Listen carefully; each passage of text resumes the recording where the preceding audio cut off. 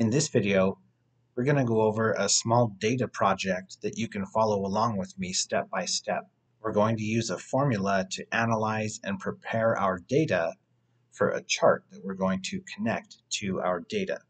So if you want to follow along, click the link in the description that will download the raw data CSV spreadsheet file into your downloads folder and then upload the data into your Google spreadsheet as I'll show you in this video. After you've downloaded the raw data, click File, Import, click Upload, Browse, and then select the spreadsheet file that has the raw data on it.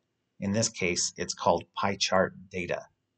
Then click the drop-down and select Replace Data at Selected Cell. You can see that cell A1 is selected, and this is where we want our data to start in the first cell and then click import data. Okay, so now we have our raw data in our spreadsheet. And so what we want to do is create a pie chart that shows the total amount of money spent on each different category.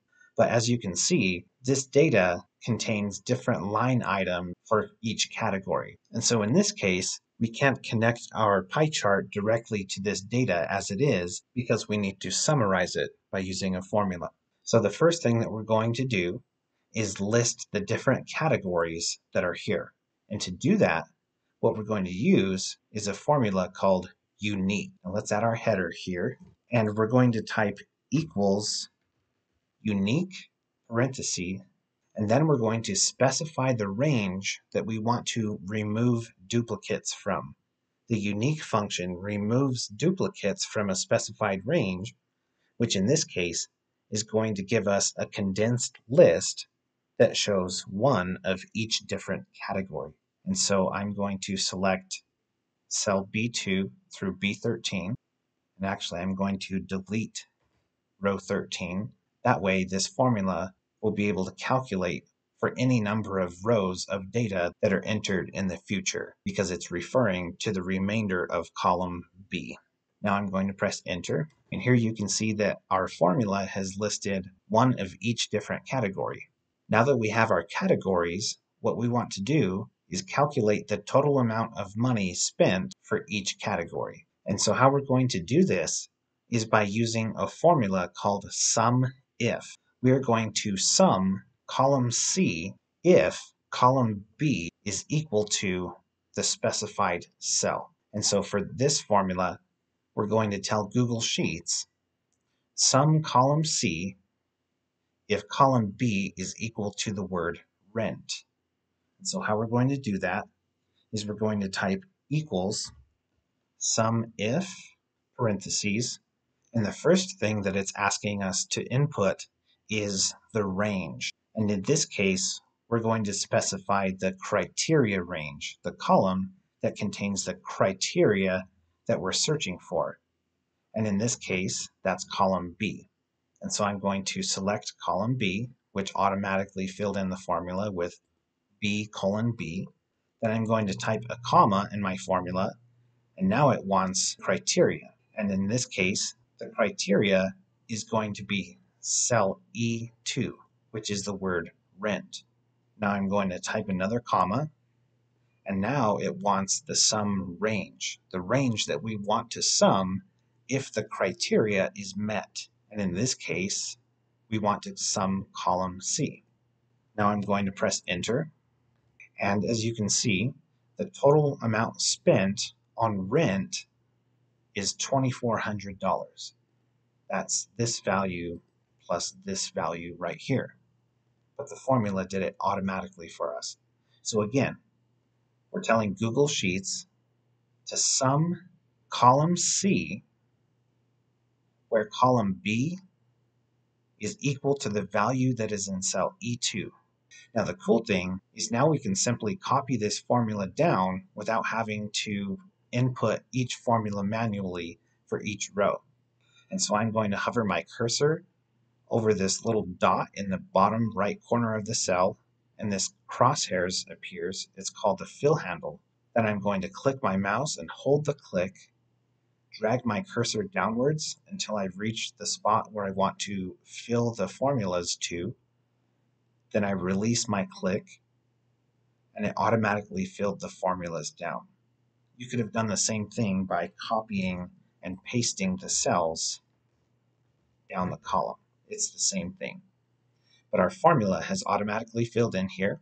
And as you can see, it automatically changed the references each time the formula was copied down the row, which is exactly what we wanted.